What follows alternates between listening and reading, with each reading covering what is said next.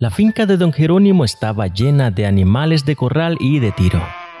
Las grandes extensiones de su finca eran sembradas de todo tipo de granos como maíz, trigo, frijoles y muchas otras hortalizas. Don Jerónimo era un afamado caballista que se preciaba de tener los mejores especímenes de todas las contexturas y razas. Cada vez que había un desfile hípico, o de elección de reinas o de fiestas patronales, él se hacía frente y montaba algunos de sus exquisitos animales. No escatimaba ningún gasto en mantener la comodidad de sus animales, ni en el cuidado de su salud.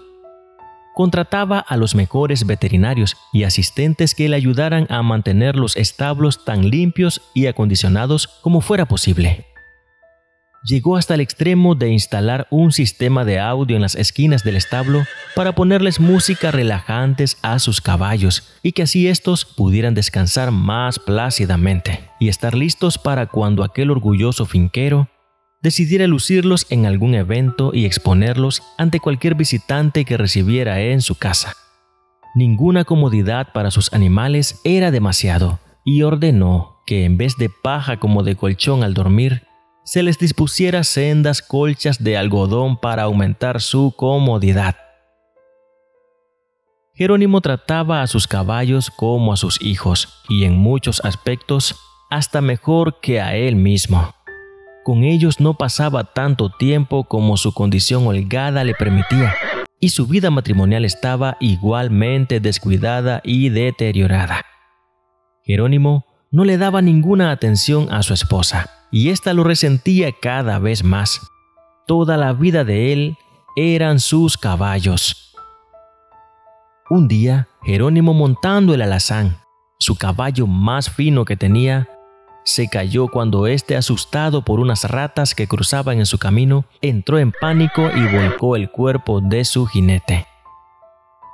Don Jerónimo se fracturó la pierna derecha y quedó con un dolor crónico en sus caderas, que le imposibilitaba caminar con normalidad y que le causaba mucho dolor cuando la noche estaba fría y húmeda.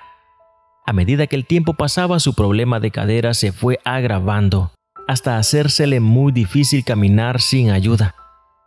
Todo esto nunca lo imposibilitó de montar sus caballos en cada oportunidad que éste tenía. Sin embargo, los animales de tiro como los bueyes, los burros o las mulas no corrían con la misma suerte de la que gozaban sus caballos y yeguas. Sus potreros y corrales no eran ni la sombra de los que usaban sus bestias favoritas. A pesar de que estos eran realmente los que hacían todo el trabajo duro, y el cual era la fuente de prosperidad y riqueza en la que vivía Jerónimo, éste no los trataba ni cuidaba como estos se merecían. Las raciones de comida eran muy escasas y sus necesidades veterinarias pobremente cubiertas. A Jerónimo le habían prohibido montar a caballo, pues sus problemas de salud en los huesos solo empeoraban por el balanceo persistente del galopar de los animales.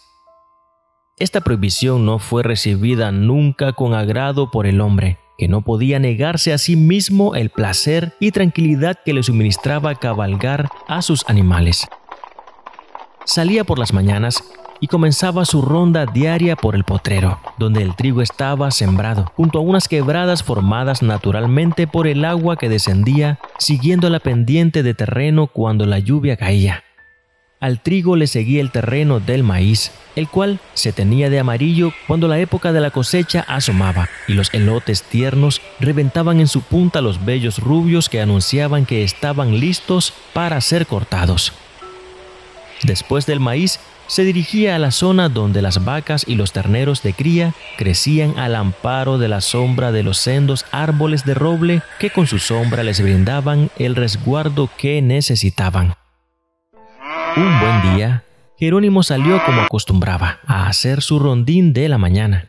La noche anterior había caído una gran lluvia torrencial con fuertes truenos y relámpagos.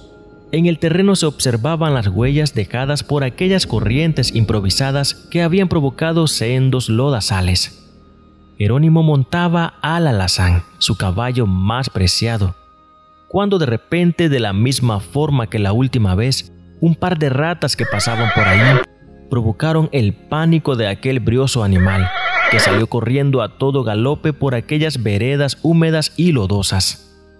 Jerónimo buscaba por todos los medios poder detener aquella bestia desbocada, que en uno de los giros del terreno, el caballo se deslizó botando a Jerónimo, y éste cayendo en una gran quebrada rellenada de lodo por el aguacero anterior. Jerónimo cayó en aquella poza de lodo, y su cuerpo se hundió hasta un poco más arriba de la cadera, imposibilitando moverse, pues sus piernas estaban casi inutilizadas y de muy poco le servían ya. Alazán, al verse libre del peso de su dueño, se sosegó deteniéndose al instante y como presintiendo los problemas en los que estaba Jerónimo, regresó acercándose a él, ocasión en la que el hombre atrapado se tomó de la cola del caballo, pero tanto el peso de él como el lodo en el que estaba atorado evitaron que éste pudiera liberarse. Alazán al ver que no podía liberar a su amo, perdió interés y se alejó de allí poco a poco. Entonces Jerónimo gritó lo más fuerte que pudo, y un niño que montaba una mula de carga cerca de allí, al escuchar los gritos se acercó. El niño que era como de seis años de edad, pero diestro en la montada de animales, acercó a la mula, que con suma facilidad, por lo acostumbrada que estaba a llevar cargas pesadas, liberó a su amo de aquella trampa mortal. Jerónimo al verse libre de aquella dificultad, comenzó a reflexionar cómo aquel caballo que tantos cuidados había recibido de él había hecho tan poco por salvarlo, y cómo aquella bestia de trabajos que tantos maltratos recibía de su parte fue el ángel que lo salvó de perecer. A veces recibimos la ayuda que necesitamos de aquellos a los que menos hemos favorecido, y esa es una gran lección de vida.